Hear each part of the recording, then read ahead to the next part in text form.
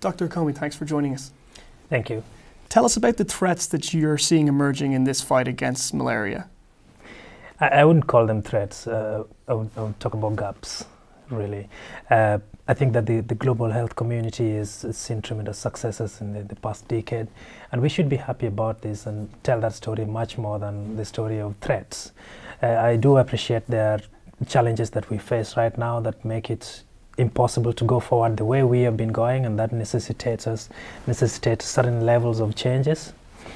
Uh, but I think that there are all the possibilities that exist now, and there's, there's the, all the signs that it is indeed possible to go to zero.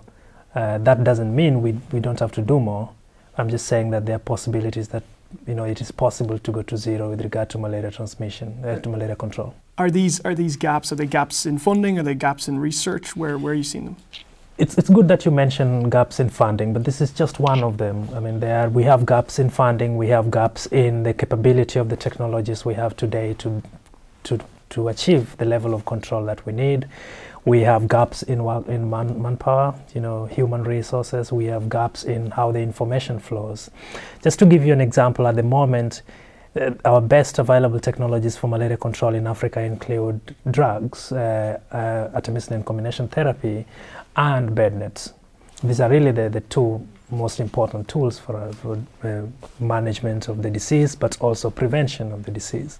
But if you look at it, you actually see that even though bed nets have done so well, they only protect you for a, uh, you know, a certain time of the night, usually the time when you are under, either, you know, in your bed and you know, if you remember to, to bring it down. But it does not protect you from those mosquitoes that would bite you when you're outside bed or before you get into your house. And yet we know that there are, of course, a lot of mosquitoes that bite people outside dwellings. And so this is a gap that we have to fill. And one way to fill it, of course, is to start working on technologies such as repellents. You know, spatial, repellents is a good example, a kind of repellents that prevent mosquitoes from entering an area. And this you would put around your house. It would protect you for the duration before you get into your bed net.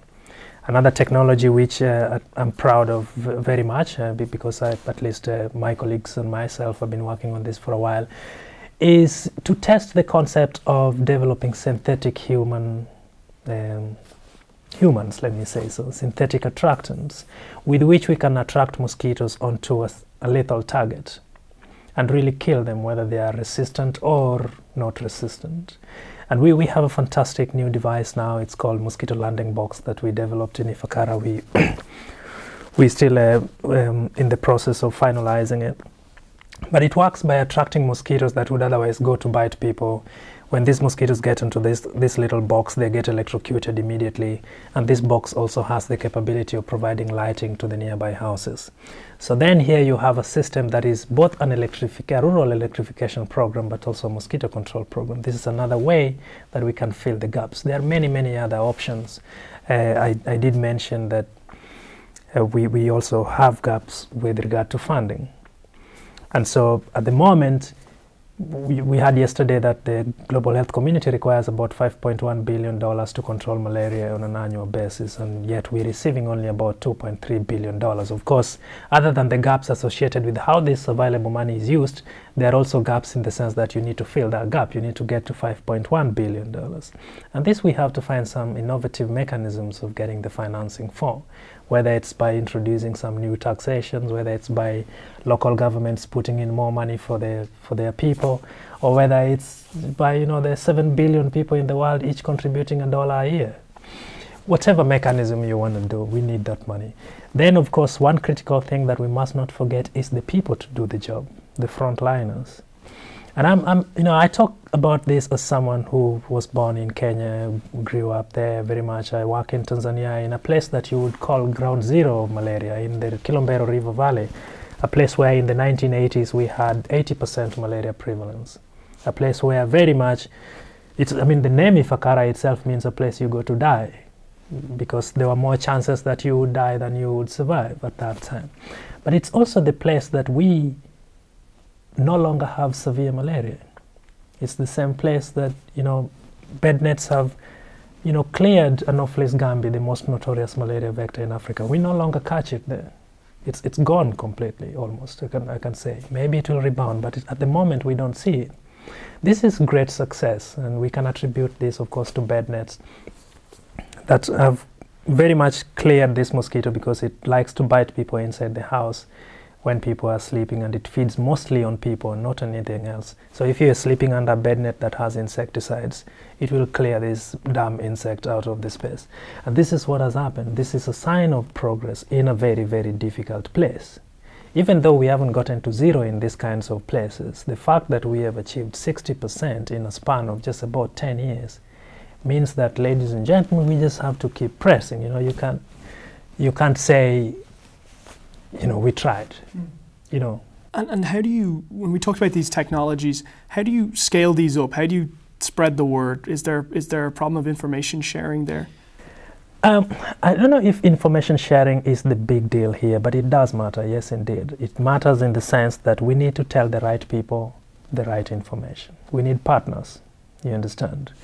And we need partners not only to give us the money, because the money, I mean, we can pay for some of these things, they are, they are cheap things, but we need partners in the sense that sometimes you have a new technology as a prototype, but you need an industrial manufacturer who has seen financial incentive in it, who can then make it in bulk, make money out of it from people who can pay, and equitably distribute this by making the device available from people who cannot pay. In the end, the positive externalities everybody gains.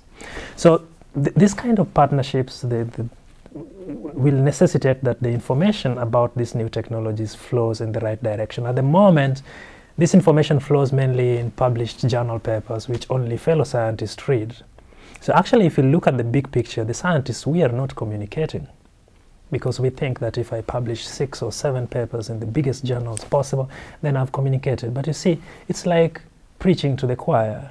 You know, the, if I am a priest, I go to church, all these guys already know what I'm going to talk about. They know Jesus is the Son of God or ABCD. I don't need to tell them that. It's the same thing we do when we publish scientific papers in scientific journals. We don't communicate. What we need to do is to talk to people who matter, if I may put that in quotes. People who will take this information and say, I don't care what the name of the mosquito is, but I want to kill that mosquito. If I get this thing, I'm going to give it to some guy who just knows how to build the stuff, sell the stuff, make money out of it, distribute it to all those who need it, and save lives. This kind of communication has to happen in a different platform.